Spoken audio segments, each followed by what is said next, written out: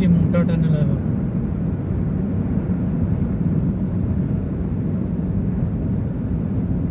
अब पहले इसमें डाले इसमें मेरा आवाज़। और